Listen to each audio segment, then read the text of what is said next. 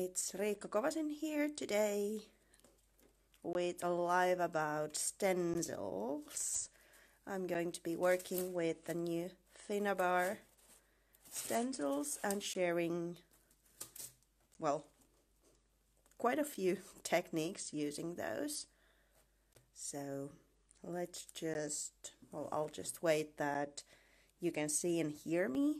So, and then let's get started with the actual project. As you can see from this, I'm doing a little bibs or bits from like using different techniques and then bringing it all together in an art journal page in the end. So thank you so much for joining me today and hope you can see and hear.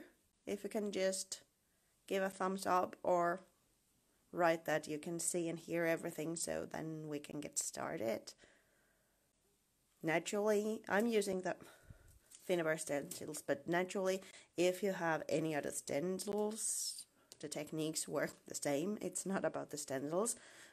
Hi, Diane. Hi, Natalie. But I'm also wanting to share these beautiful patterns with you as the new stencils are gorgeous.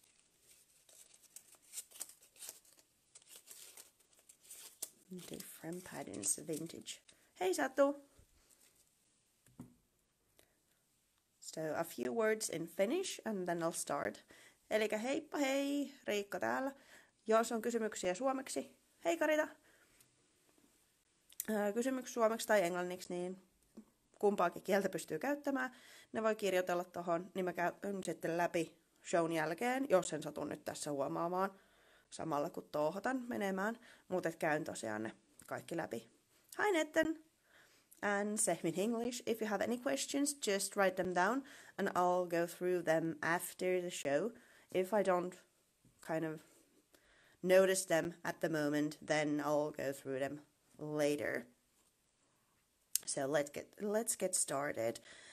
For the page, I am using something new from Finnabair as well. A new journal. This one is the white one, and then there's the teeny tiny one that has the craft paper or the brown paper inside.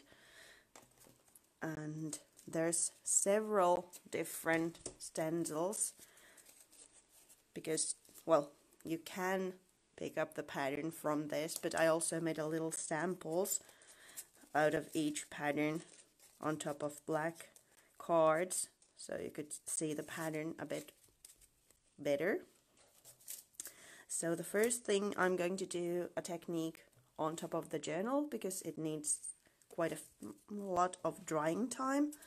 So in here I was using this one, I guess.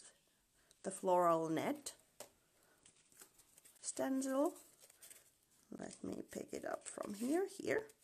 Kind of a lace influenced pattern,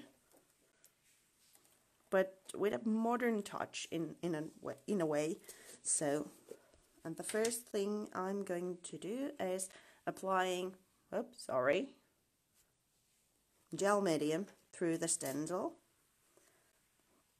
as it's really thick and kind of adhesive, working as an adhesive, you really need to clean your stencils afterwards. But when it comes to stenciling, the thicker the medium, the better it is for a raised effect, because then you can actually build those kind of dimensional layers. And what's also important is that you go over the design as little as possible because the more you work on an area the more the product might get underneath the stencil and the image is not crisp anymore. So this is the first one, just, well, hmm, white on white, hard to pick up. There it's a bit better. But as the gel medium dries clear, it's going to be a recessed layer. You can use same idea using, for example, embossing powder, clear embossing powder but this is also fun because it's such a dimensional thing. So let me move this here to dry for a while. If I need to use then a, heat tool, then I have to, but I try to steer away using uh, from using a heat tool with gel medium as it boils so quickly. And well if you want that kind of a soft look to it kind of um, domed surface then boiling is is the answer. But if you want a crisp clear image then do not boil it normally I would take the stencils if I'm using something as sticky as 3D gloss gel, I would actually take and wash it, but I'm not going to do that right now. Then let's let that dry for a while and do another one, again a thick version, something from the Finnabair line as well, icing paste.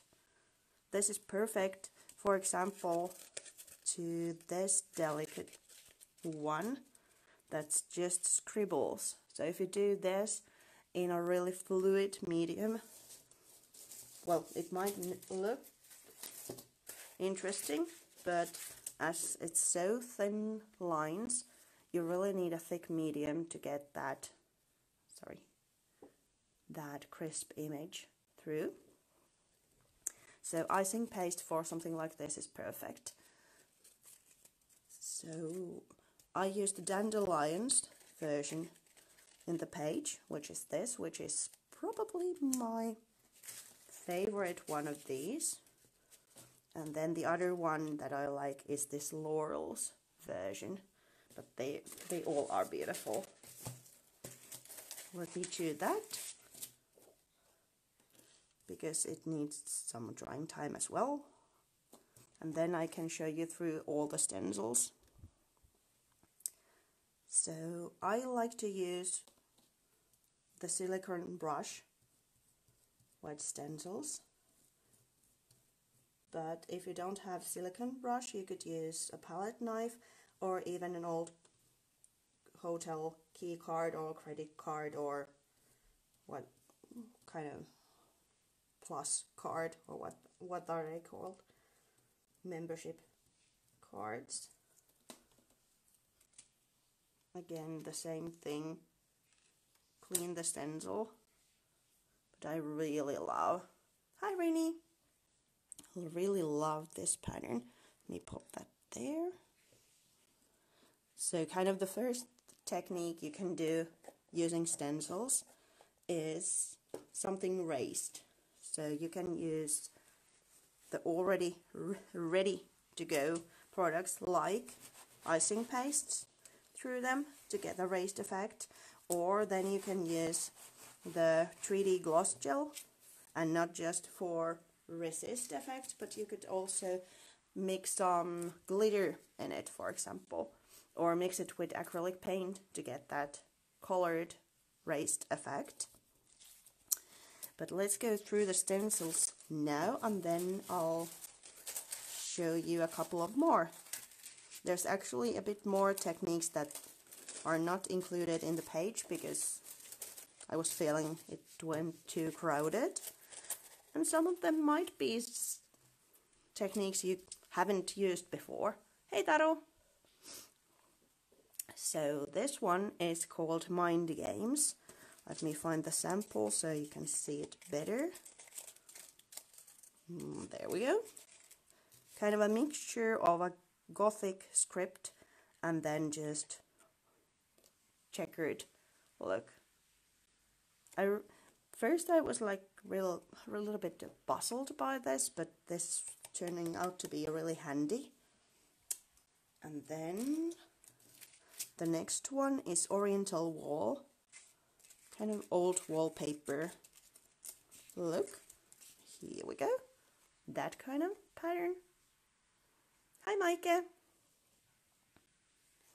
Something that reminds me of my husband's walls when we first met, because he had this 70, 70s wallpaper burgundy color. It was really funky. And then Gothic. You can never go wrong with a script. Then there's Laurels. Another one of my favorites. This is really, really beautiful. Delicate kind of leafy pattern.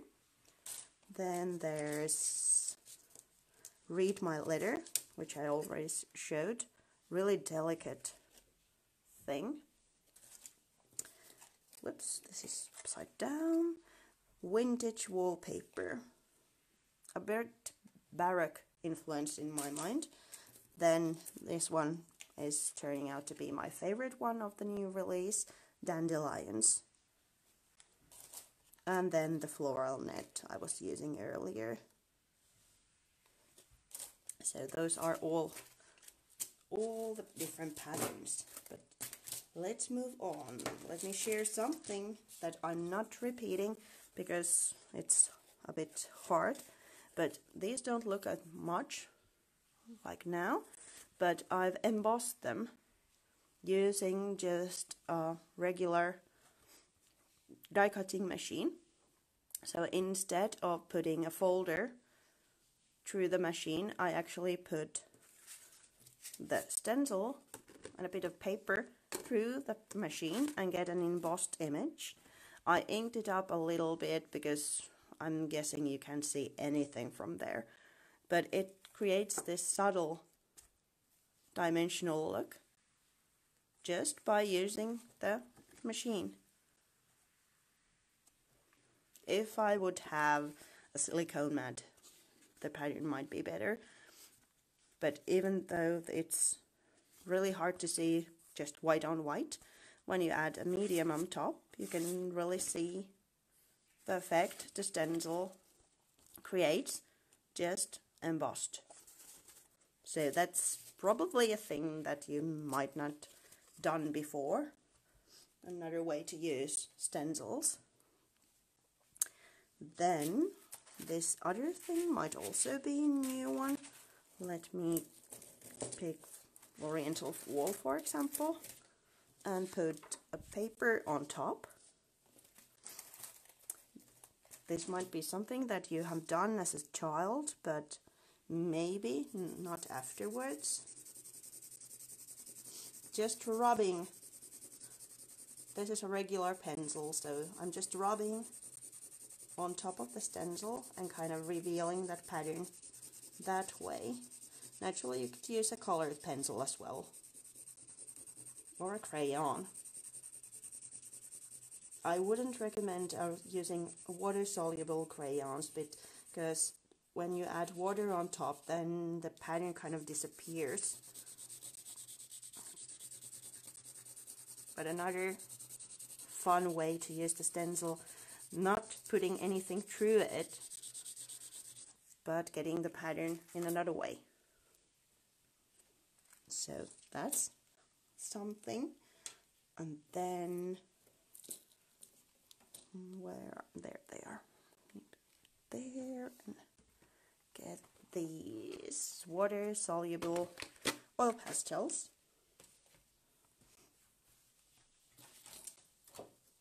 And another piece of paper and instead well if I would try to color as you can see these are a bit too bulky to be used through the stencil. But I can color the stencil with those. And as they are water soluble so they react to water. Can do this and then hmm, sorry where's my water mister? I did there it is just a couple of spritzes of water to kind of react uh, oh sorry. It's not react. How, how do you say activate. And here we go. You can't really see anything with the pencil. Let me... here we go. It's the pattern. You can mm, can see it naturally. You can see the grains as well, but it does create the pattern in another way. And well, here it is. Again, just kind of positive, negative, whatever. The impression of the stencil, not something through it, but using that as a stamp in a way. Let's try also if that works with the Prima inks. Let me quickly clean this one. Well, they are water reactive, so I can clean that one later. And let's use another pa pattern. What about this one? Let's try if I can get it with the inks. I'm adding the water reactive things straight to the stencil, not through it. Then a couple of sprays of water again to activate it. Let's flip it over and then press. Hmm. Works. Not as detailed as this one, as it's kind of crispier. And then this one is more like watercolor. But another way to use stencils, anything that reacts with water, acrylic paints, you could try them, but it's because they dry so quickly and you might not get a good print out of them this way but anything that reacts with water because then you can always activate it using the water so now we have a couple of ones sorry done then let's do just one more for that I'm using actually a pattern paper from the uh, Pretty Mosaic paper pad. Let me gather that one for example. And then kind of a regular way to use stencils. Adding paint, paint through them. I'm using the liquid water, watercolors, not watercolors, acrylics, as I'm using them to color the background. but you could use impasto paints as well or just inks let me get rid of that hmm. Then the hard part picking a pattern. Let's use that one.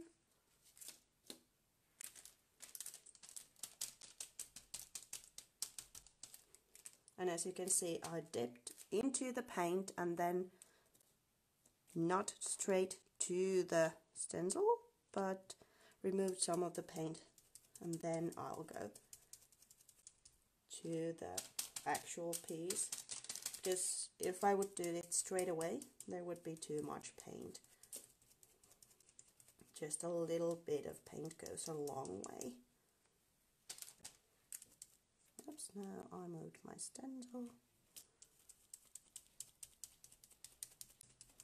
so kind of a traditional way to use a stencil. And again, clean your stencils after use so they last longer. This one isn't dried yet, so I guess we need to use a heat tool anyway. So I'll just grab that one. Sorry about the noise.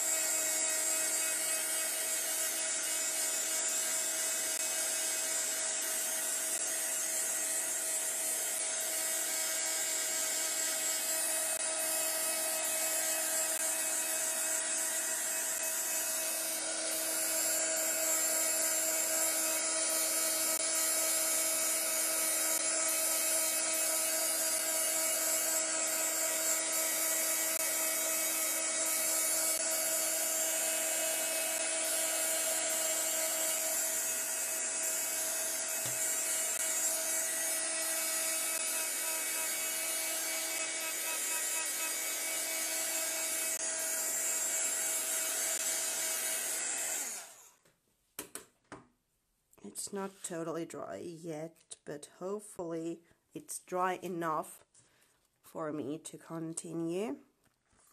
You may notice that I actually tried to dry it from underneath as well to kind of get the layer dry from both sides. Now the middle part probably is still wet as it's white, but let me try if, if this will work because I can imagine it's a bit dull to watch me dry something. So I'm just adding a couple of dots of the liquid acrylics on top.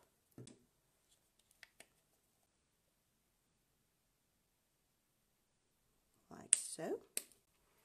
Then, for caution's sake, me. Move this aside and maybe put that one over there to guard the actual page. Because then I'll take a water mister. And when I push the water as you can see the paint kind of goes everywhere.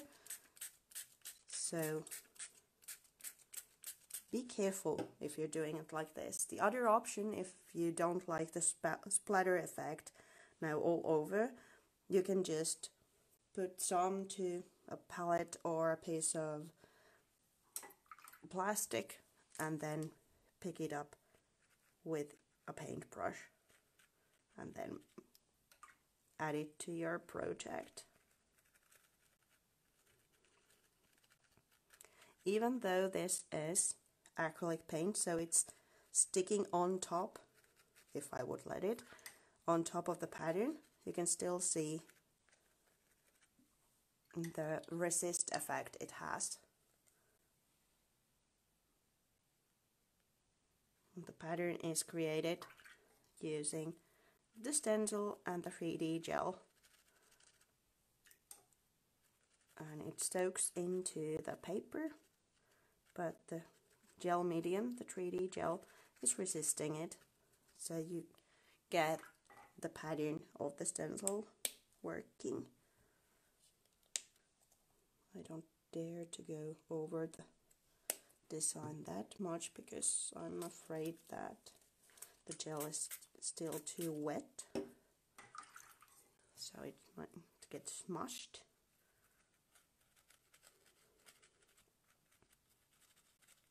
like so.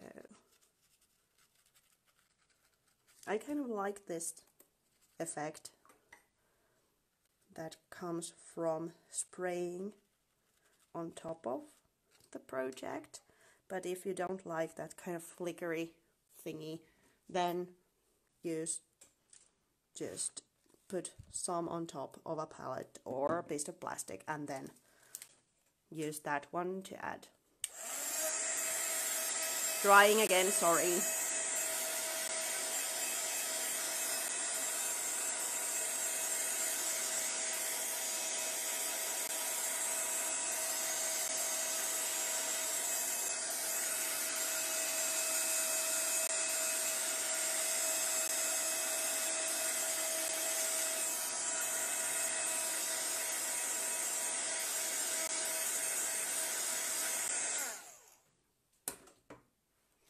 If you don't like the bleeding on the other page because these are quite thick pages but if you don't like this then apply a layer of gesso underneath. But remember that it might change the look because now the ink can actually absorb into the paper right away. So it creates this lovely effect but if there's gesso on top it cannot absorb to the paper so it might change the look totally.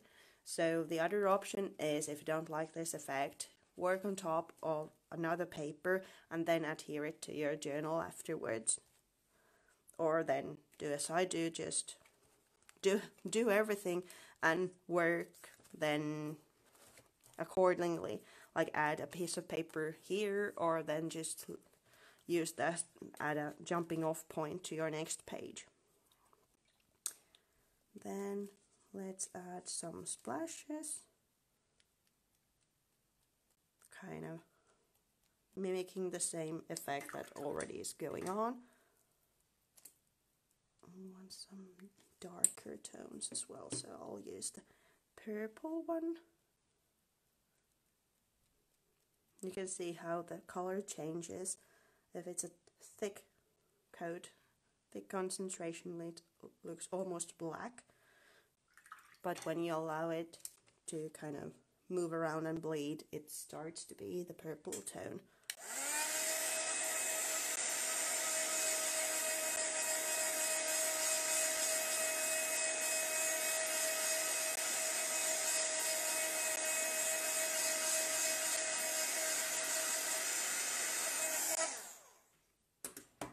If you want to see the actual materials I'm using for this page, they are all in my blog and I can add the links after the show.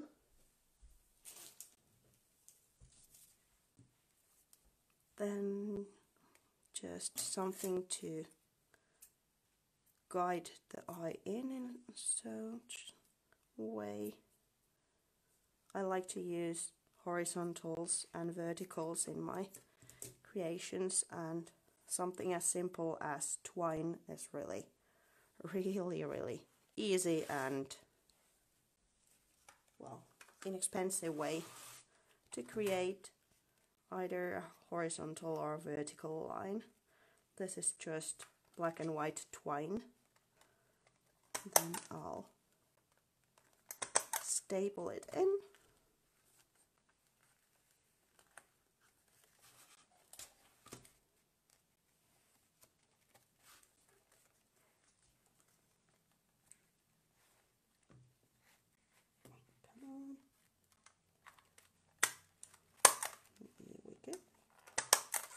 there. More or less is there. Let me move that. Hello Wendy. We're doing an art journal page here using stencils. I've shared a couple of techniques and now I'm kind of using some of the elements I've done to make the actual page. Then let me get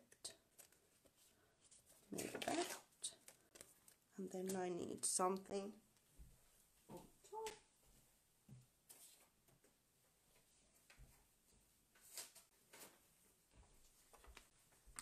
and what about these two ladies?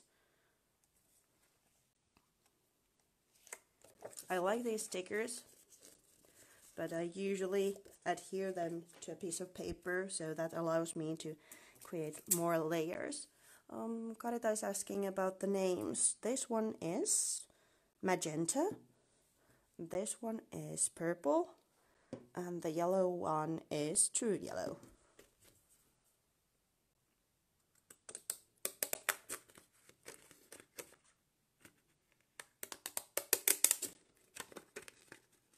These are just like, what are they called? Pattern scissors but I thought it would be funny to add a little something next to the vintage photo so these create a look of a postage stamp.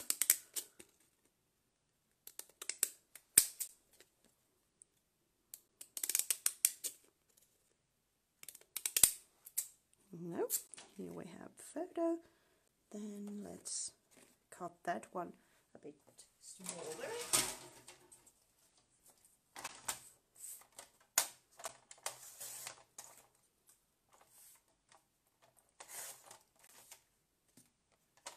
It's quite dark, so I don't need that much.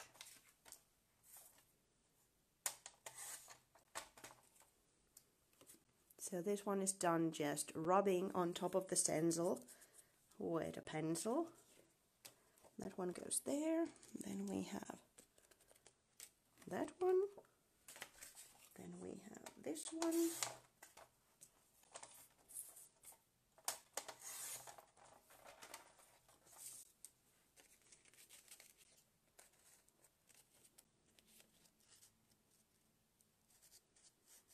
Hmm.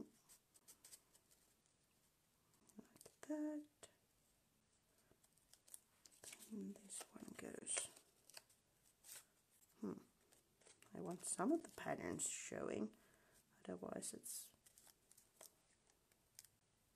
Yep, that's okay. So I'm building a com composition in my hand, then using again the. Whoops! Now it moved. Straight stapler to adhere the layers.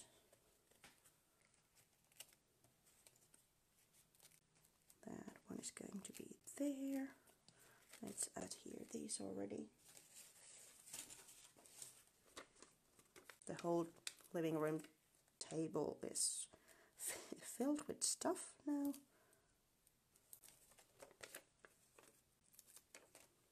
Yeah, actually, vintage photos used to come with a kind of shaped edge. I'm not sure if it's the same as postage stamps have.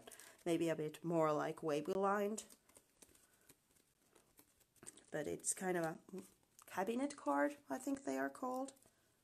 So it's a fun little detail.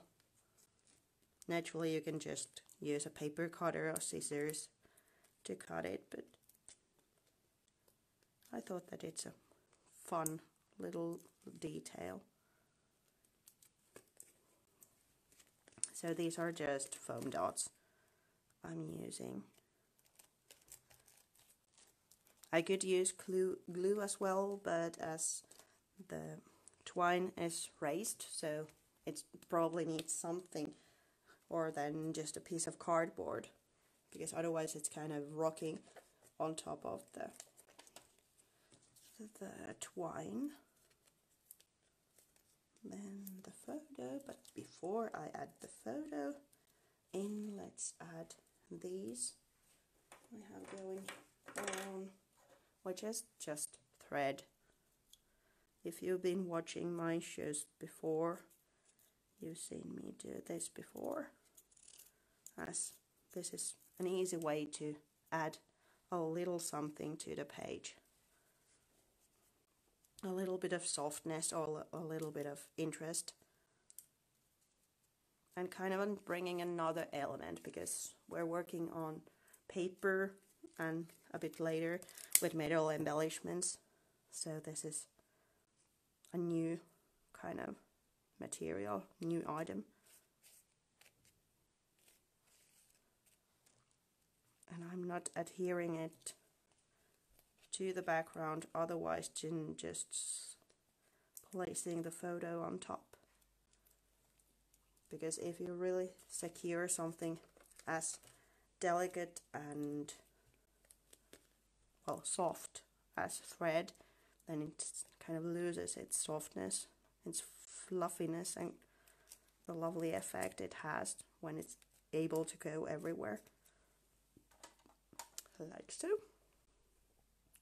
Then it's just the final touches with some mechanicals, a couple of brads and a number. But as I had the gold theme going on here, I thought that these don't match the palette. So in comes the handy metallic waxes. This one is vintage gold.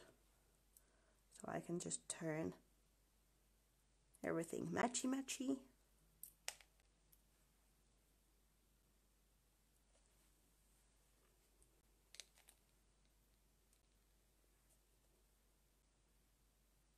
Here we go. And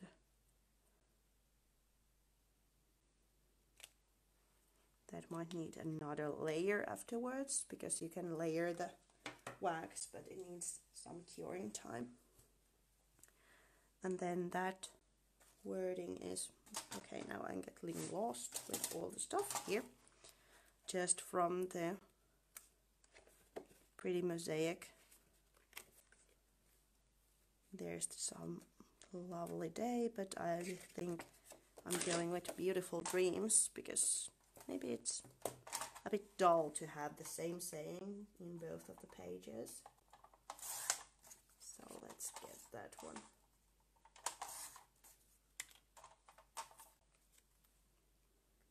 Hmm. I thought to save that one, but the frays are so long away, so probably I need to trim it away anyway.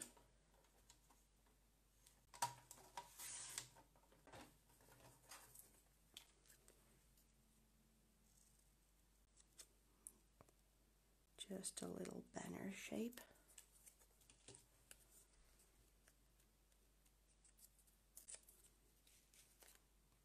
Hmm, it doesn't fit. Then it's just beautiful. Not no dreaming. yeah, that that one will fit.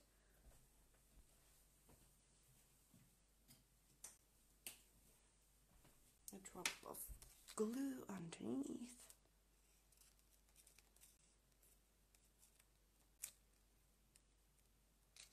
Those are going through the page.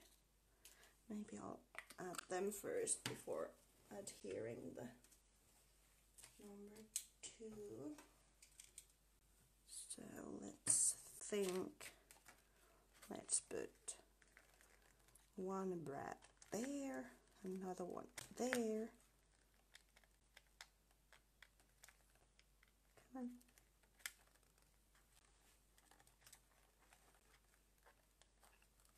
Where did I put the hole? There it is.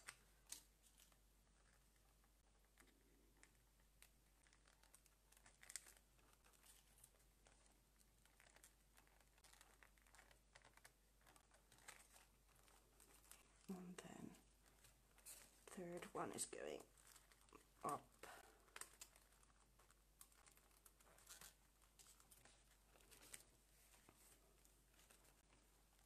Maybe there.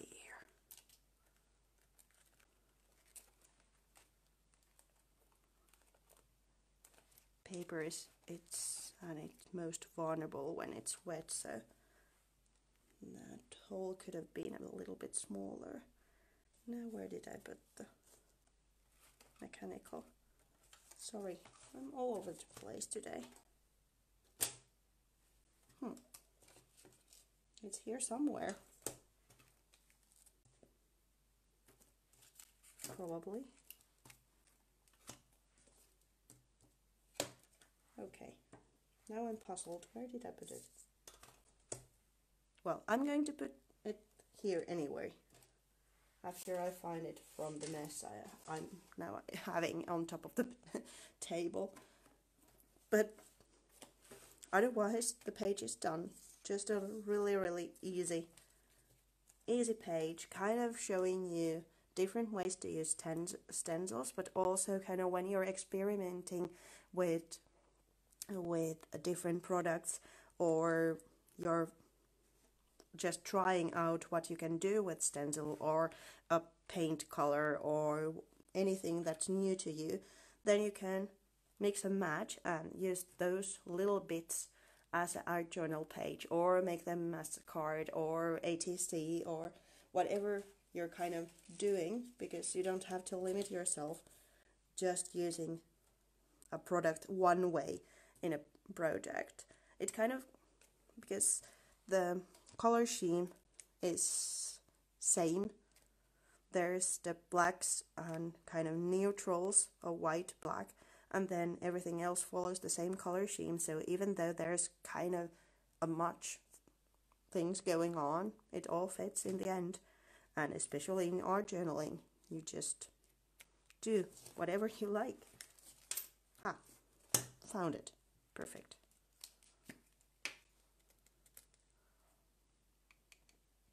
So thank you so much for coming today and seeing this little show. If you have any questions, I'll go through all the comments afterwards, just in about five minutes.